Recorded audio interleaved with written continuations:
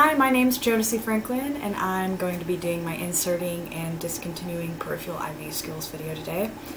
I'm going to enter my patient's room by knocking on the door, and then I'll enter, I'll close the door or the curtain to ensure my patient's privacy.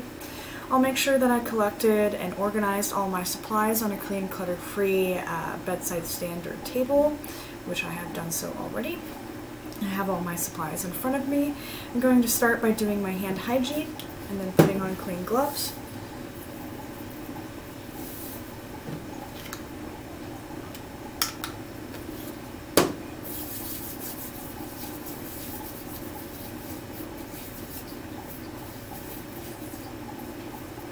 Okay, I waited about 20 seconds, we'll say, for my hand sanitizer to dry before putting on my clean gloves.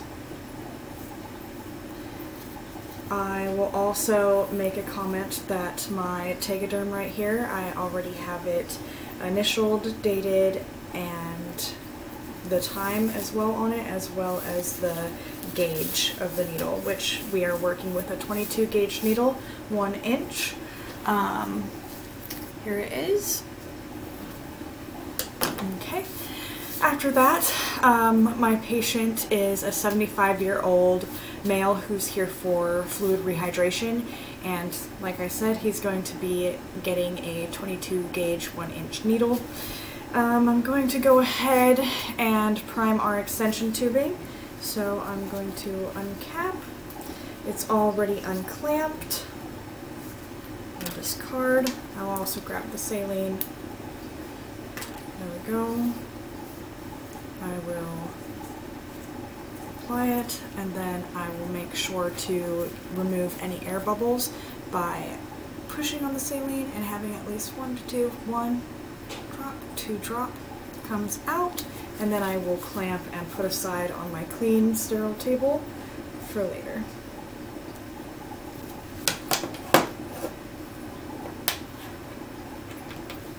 Okay, after that I am going to go ahead and go to my site and I'm going to apply my tourniquet, which I have here.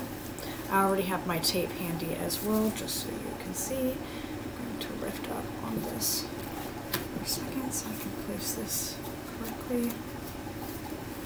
I'm going to place the tourniquet four to six inches away from my insertion site.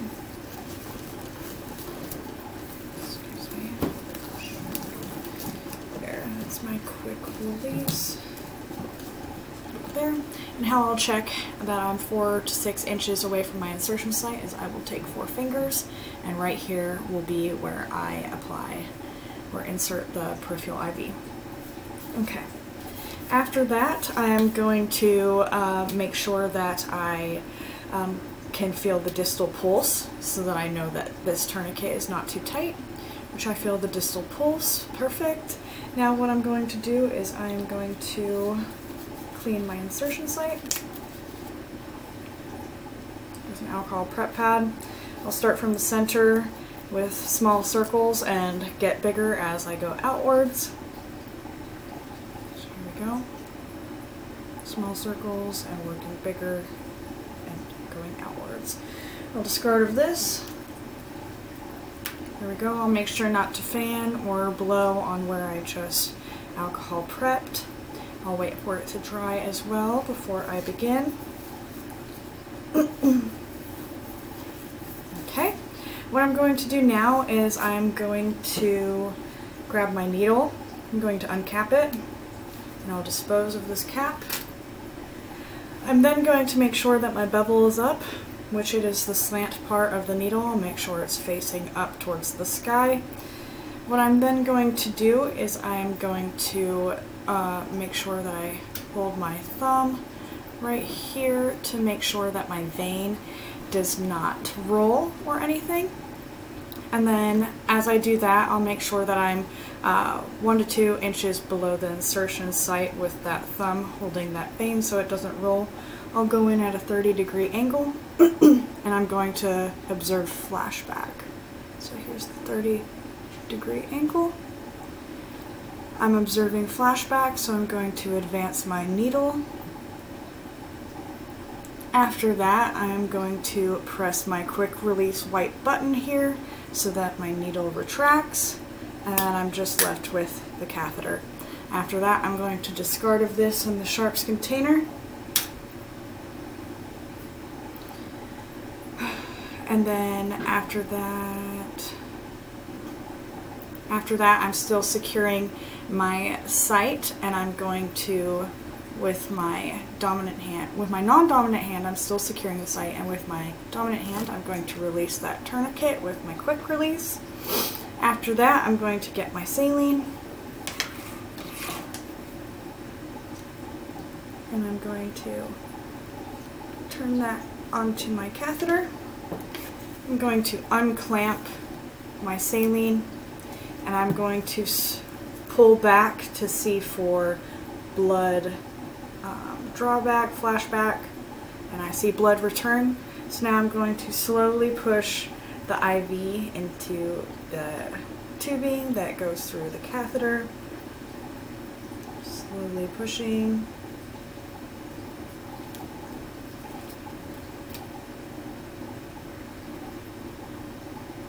Still securing the IV.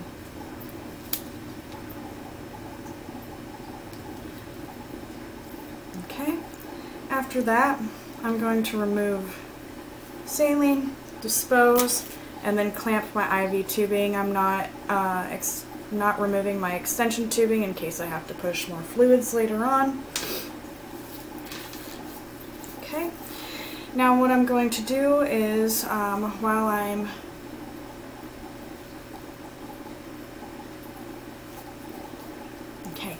Now what I'm going to do is while I'm stabilizing the IV here, I'm going to apply that sterile dressing. So really quick, I'm going to just remove that. And then I'll stabilize the IV and I'll apply it. I'll make sure not to get, uh, apply it over that IV extension tubing. Press down, around. Okay.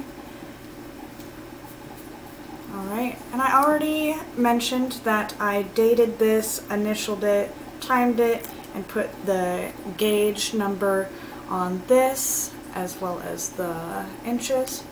So I'll set that aside while I remove this white outer barrier and press down on the tegaderm to secure it fully.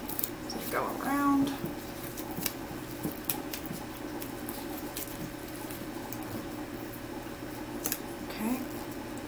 Done that. So now what I'm going to do is I'll discard that and I'll take my four pieces of tape and I'll secure each corner.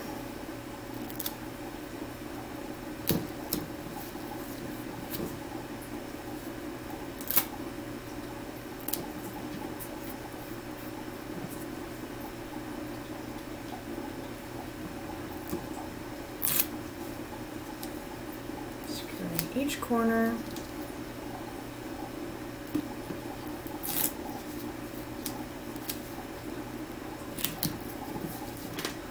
Once that's done, I'll take what I filled out that was on the Tegaderm and I will leave it right here on top of that so people know when this was placed, who placed it, what time it was placed, and what size the catheter needle is.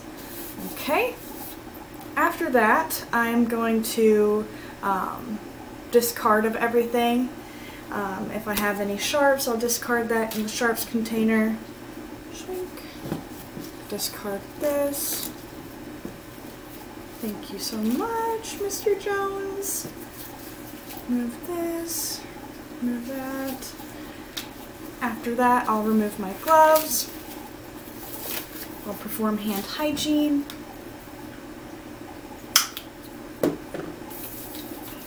And then I'll leave my patient's room and I'll go document. Alright, it has now been later, it's so odd what time now. Um, I'm going to arrive back at my patient's room. I'm going to knock on the door, enter the room, close the door, close the curtain to provide patient privacy again. I have my supplies, I have my tape right here as needed. Um, I'm going to perform hand hygiene again and apply clean gloves.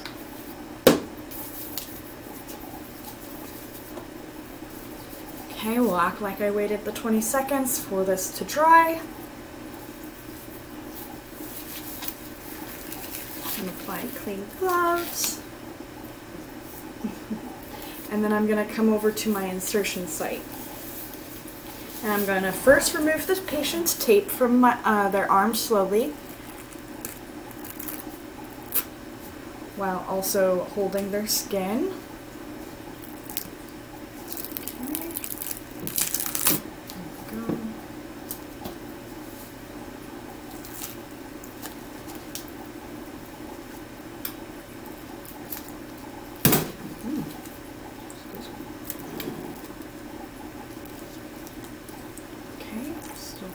their skin. That one was a hard one to remove.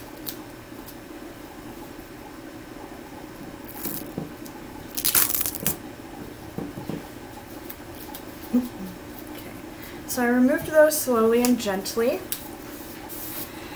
Um, and then while using one hand to stabilize the IV, I'm going to remove this outer tegaderm. Okay, so I'm stabilizing the IV I'm going to start from the outer corners and work my way towards where my fingers are.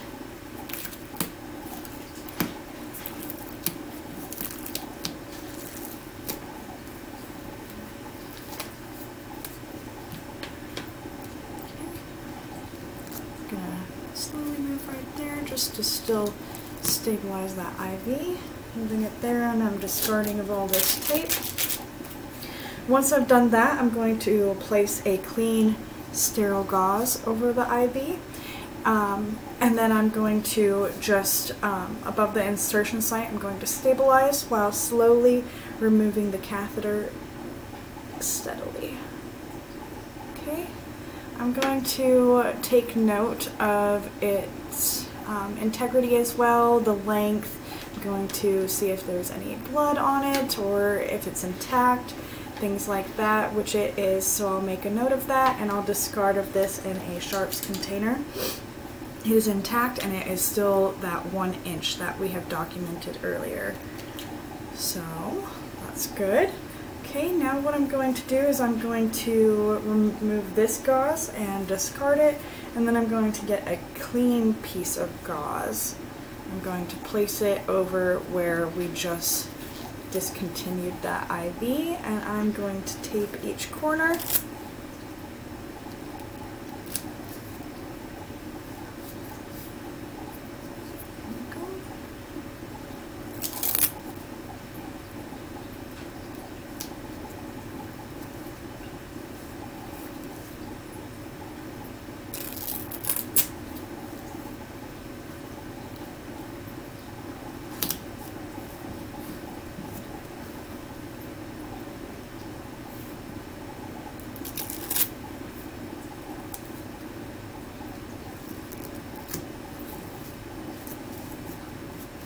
Okay, once I've done that, I'll discard of any uh, leftover supplies that I have. If I had any sharps, I would discard those in the sharps container.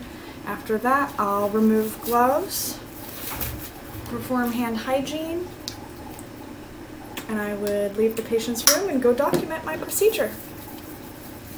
Alrighty, thank you so much and have a wonderful day.